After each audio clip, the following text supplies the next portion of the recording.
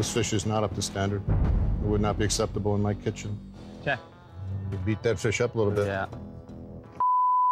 Dustin, I don't think you're going to make it through today with that. Check. Fish looks to be in good shape. You're on to the next round. Thanks, chef.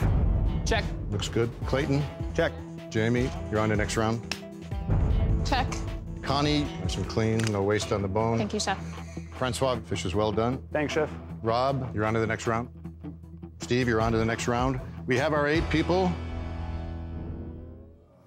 Oh, people are so psyched for this. Top Chef Canada, of course, premieres this week, uh, and it is uh, eagerly anticipated by fans. We have three of the top chefs joining us Dale MacKay, Clayton Beadle, and Jamie Hertz, the BC Boys. Gentlemen, how are you? It was funny watching you guys watch yourselves. You haven't you seen haven't seen No, any no. clips. What was it like uh, watching that, Dale? Uh, it's pretty humorous.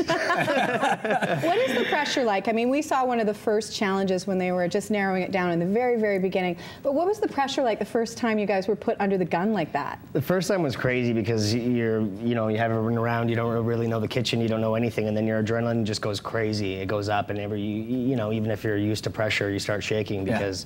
Because there's cameras and everything's around and stuff. So, it's- when you hear that first challenge, the fish, are you relieved? Or, well, obviously, Yeah, you knew what you were up to. I'm pretty confident with fish, so I was just more. I remember getting kind of partway through, and I had to tell myself to just calm, down, just slow Clayton, down. how hard like- is it to pull the pin bones out of a piece of fish When your you're hands under shake. that kind of pressure? Uh, I was smart. I went for a rockfish, so it was it was no pin bone involved. But um, I can imagine even if you don't have tweezers, it's probably gonna be pretty hard. Yeah. And Jamie, it. obviously, you were pretty confident with that one as well, uh, right off the top. Yeah, but the, the, when the adrenaline rush kicks in, you sort of lose sort of control of all of your, you know, limbs and every, you know, Well, I- period. everything All separates. My hands are so far away. Yeah. What motivated you to get uh, sort of uh, involved in the show, Jamie? I mean, you have Fusion and Nelson, very successful Yeah. restaurant. You've run it for many years. Yeah. Why do this now for you? Um, I had, I had just a couple of locals that, that sort of wanted me to do it because they thought that I could actually get myself out there and, and try to just go on the show. They, they you know, they Yeah. want to see a local, they want to support their locals, and, Right. and and of course I wanted to see sort of where I stand Clayton, against how it. about right, right. So What- there's some competition involved. What was involved the in it. motivation yeah. for you to fill out the application and get involved? Um, well, it was pretty much to get my mom satisfied. She my it was my mom that wanted me on the show. so, um, but uh, you know, just to see where you stand against the rest of the rest of Canada and the world, essentially.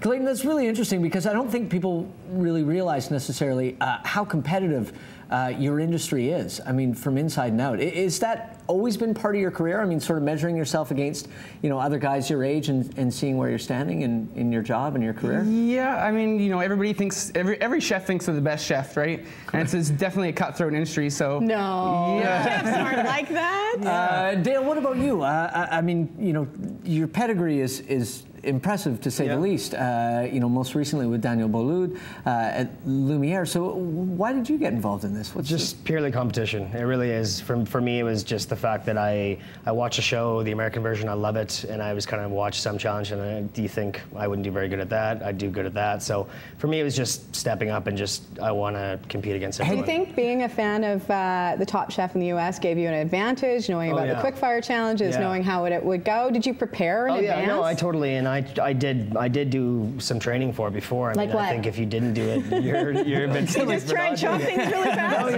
know, you, you kind of look at all the different angles because I'm I do fine dining. That's what I've always done, and Right. so Yeah. you know you have to kind of start looking at some of the quick fires and some of the things that aren't really normally in your realm, like you know vending machines or whatever it may be. You have Yeah. to kind of be prepared. Clayton, how did you prepare?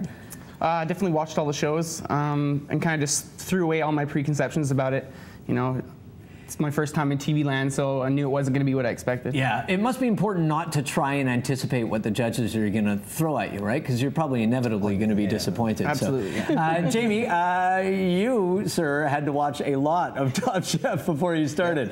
Yeah. Uh, How many hours a night were you watching? Pretty much when I wasn't at the restaurant cooking, I was either at home watching or I was in the back room on my laptop trying to watch Right. episodes because I had never seen an episode before. You're so- kidding me. So you didn't really know what you were getting yourself involved I knew, in. I knew the sort of like the, the what the show was about, and I knew what people thought of it, and, and Yeah. you know, but I never actually saw particular Had you been involved episodes. in the competitive side of your industry before? Like, you know, there's always these contests sort of going on. Yeah, and- I've, I've never really been into the competition sort of side of things. I sort of just did my own my own thing. But Way to get your feet wet. Yeah, no kidding. tell me about it for sure. Clayton, what about you? Had you done any of the competitions before? Yeah, I've done um, the Whistler Chef Challenge, um, the Telus World Ski and Snowboard Festival, um, and we do a few challenges up in uh, during Cornucopia up in Whistler. Yeah. Right, yeah. So I've done I've You've done, done a few well of them. Yeah. Now we can't talk about the results. Of course, people will have to tune in Or to find can out. we? But what was it like the first time you guys heard? And we won't talk about who had to go, but the first time you heard the Yeah. phrase "pack your knives and go." What gotta was that suck. like, Dale?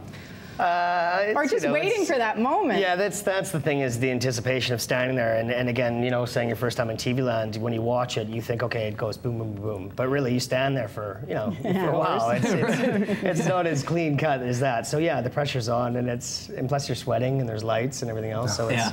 Yeah. What do you do? You guys feel like you came out uh, a better chef, having to do all these things that are outside your comfort zone, Dale? Oh, for sure. Yeah, Yeah? for sure. Yeah, and, and situations you you'll, you would never normally be in, you you you're put in, and you put yourself into it. So you need to. Clayton, are, are you watching other guys and, and seeing what they're doing? And girls. And, girls, sorry, other contestants. right. Competitors. Uh, and, and, and sort of, but to Chefs. you know, almost gain some inspiration from your fellow competitors as well, because everybody there really knows what they're up Yeah, to. it's- Or you just kind of concentrate. It's pretty tough when the clock starts. It's just you, your knife, and your cutting board, and the task at hand. I mean, everything else just dissolves away. Uh, are you looking forward to watching it, Jamie, and seeing what other people did? Because that's the thing. If you're focusing on yours and you see these guys put out dishes, you don't necessarily know that some What they went it's, through. It's, it's true because you, you're always you're focused on yourself so much that you never actually see what anyone else is doing. So it'll be, it'll be interesting to see what all the other dishes would Yeah. would look Now, like. you guys all seem to get along, and one of my favorite things about Top Chef in the U.S. is that a lot of times people don't. Did you guys have to live in the same house? Is it we the are, same we setup? are Canadians. You gotta, So you're a little more. So you cat fight, then Yeah. you apologize. Yeah, Did yeah. everybody get along? It was it was interesting actually how they, they they sort of got a group of people who've never met each other, and we got along so. Well, you're in it Yeah. together, Yeah, I was- guess. it was- that being said, you don't really know what other people are saying in, Right. in the interviews, right? So that's Oh, where see, after they yeah, you know, it's going to come Oh, unfold. Clayton, right? any uh, any concerns about uh, either what you said about other people or about what other people said about you? No, I mean these guys are right. Everyone got along great. You know, I don't think there was too much backstabbing going on. You don't think? I think, don't think? I think Dale I think Dale had a couple good things to say about some people Generally for sure. Did you?